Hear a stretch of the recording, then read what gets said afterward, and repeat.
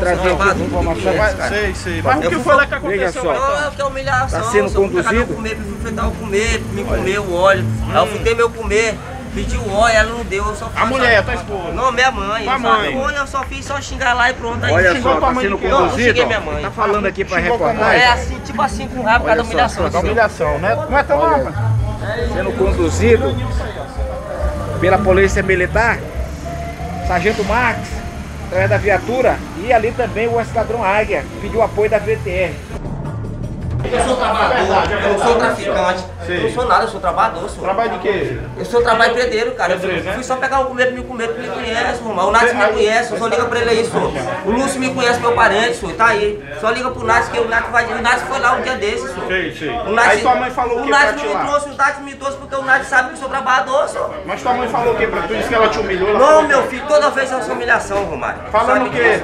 Humilhação, rapaz. Eu fui pegar o óleo pra me comer. Eu falei, mãe, me dá o óleo pra me dar o corpo pra me comer. qual ela rua não tu é? Rua do Cajueiro. Aí tu teve, tu eu disse sou que xingou lá. não, não, não. Xinguei, Não quer dar ela. humilhação, não, não ela, né? Exatamente, meu filho. O Nath já foi lá, o Nath sabe me conhece, senhor. Entendi. O que, que aconteceu pra você ser Aí, conduzido? rapaz, ele tá sendo É apresentado porque ela mandou os caras me trazer, eu não sou ladrão, eu não sei nem porquê, tá nem comigo, na tô rua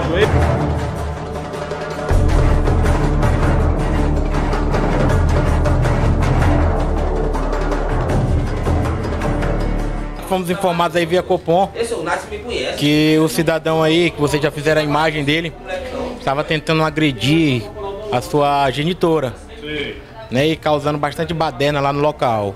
Ao chegarmos lá no local, constatamos ele bastante alterado, né, no tom de voz, bastante alterado, e ela, ela resolveu prestar queixa, o denunciou por tentativa de agressão, baderna.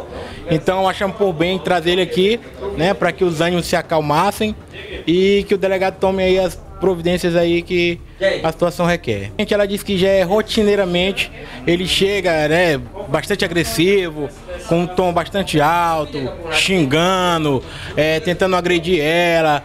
Então, por várias vezes ela liga para a polícia e ela perdoa, mas dessa vez ela resolveu não perdoar e continuar com a denúncia para que ele fosse conduzido para esta DP.